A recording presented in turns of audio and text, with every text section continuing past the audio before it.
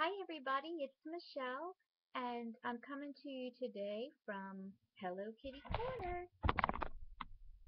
Check it out. These are a lot of my Hello Kitties that I collect. Um, I know beautiful Alicia really loves Hello Kitty and um, she was wanting to see some of the kitties and I told her I'd make my next video from Kitty Korner. This is actually in my bedroom and um, I've got little bitty kitties and some kitties with bears and things. This one's one of my favorites. I even have a dress me kitty.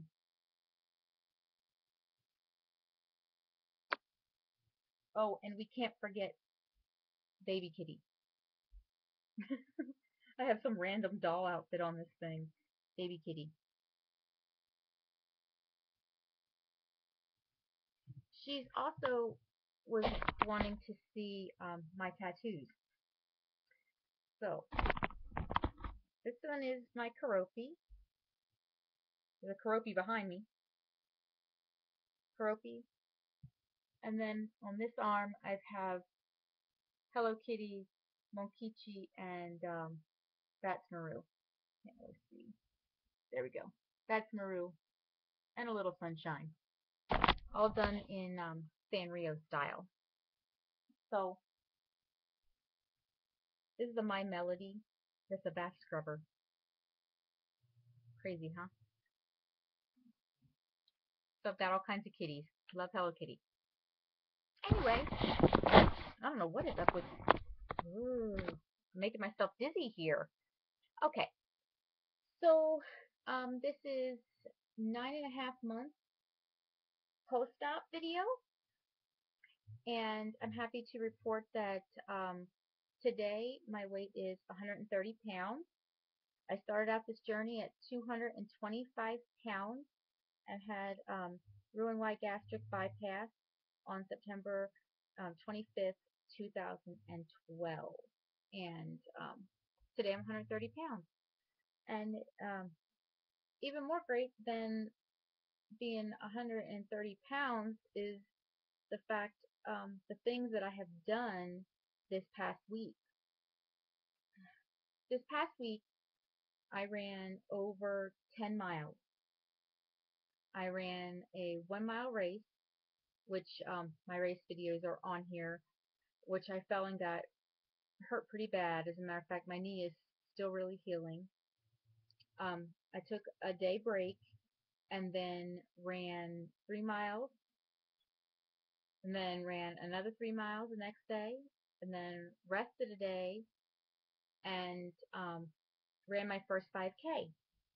So if you're friends with me on Facebook, you've seen um, my post-race pictures from my 5K and you know that um, I did it in 36 minutes and 44 seconds, which is about, you know, a 12 minute mile pace.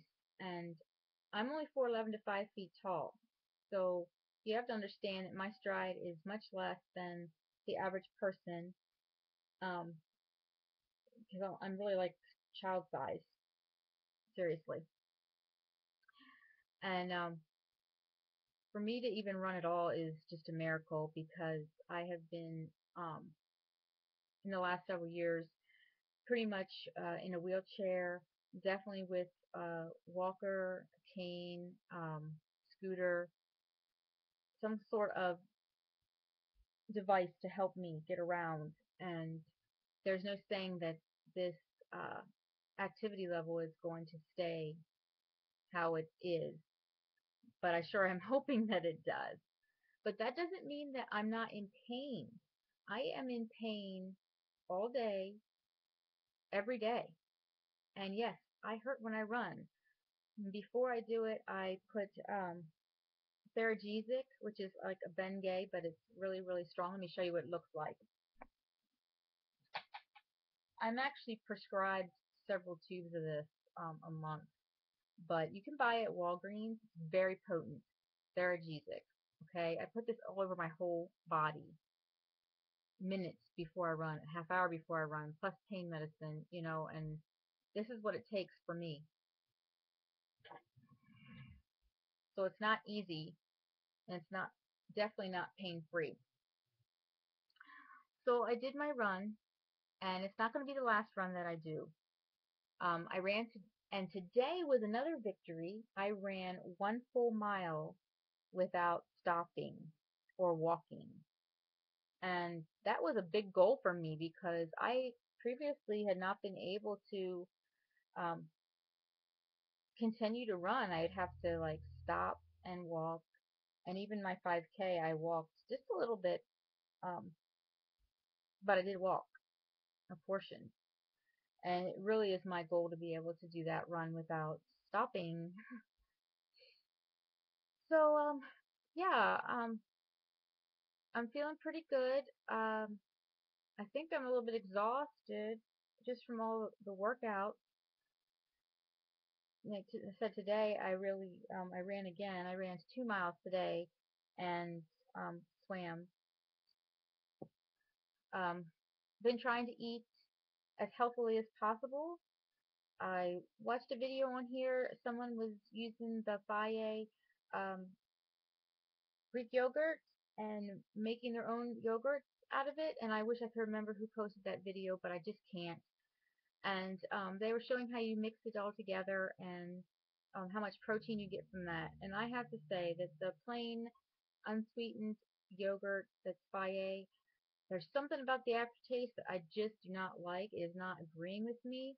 But I have managed to eat at least one cup yesterday and one cup today so far. And um, I, you know, I put some blueberries in it this morning, and uh,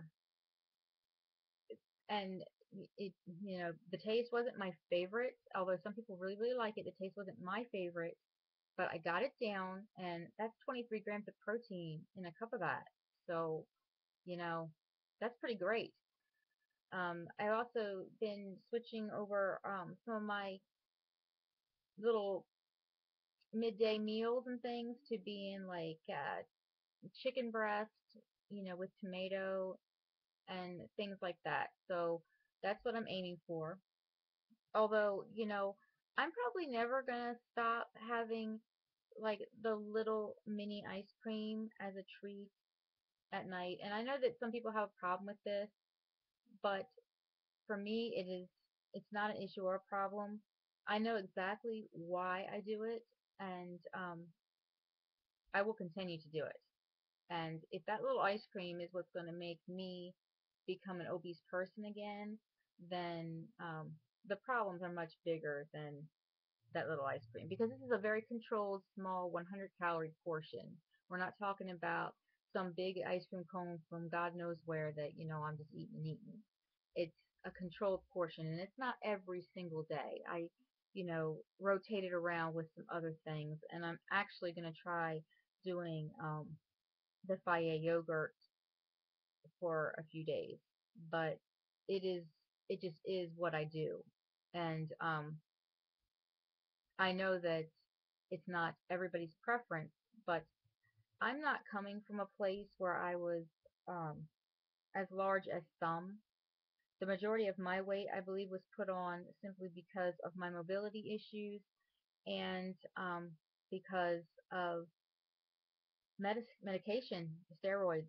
So I don't know that eating was really ever a big problem for me. And maybe I'm blind, you know, and maybe I do need that tough love. But um, nevertheless, I'm going to um, probably continue to have uh, to allow myself to have one small 100 calorie something or another um, in the evening because that's what I want to do. That's what I'm doing. Not that it's what I need or what I have to have or that it's even a problem. I can, you know, it's, sometimes it's fruit, sometimes it's yogurt, sometimes it's a little ice cream cone, sometimes it's, you know, it's just what I eat at seven o'clock, and that's and that's when the day ends. So that's just what I do. And um, I wanted to mention it because, you know, for some people that would be a problem, and they can't do that. Um, food addictions, you know, you gotta watch. But I am active. I am very, very active. And um, if for some reason I was to become not active again, then certainly um, that would be replaced with uh, some sort of uh, protein thing, a very high protein something. But it probably still would happen at the same time, whether it be tuna or whatever, same time, because that's just what I do. That's my schedule. That's what that's what I do. So um, anyway, that's uh, what I've got for you for right now. I better get going before this YouTube decides to cut me off. So thanks everybody who's watching. Please subscribe, like, rate, all that jazz. And um, I'll see you for my 10 month update or maybe before then. See you later guys. And hi Alicia. Love your kitty stuff. Bye.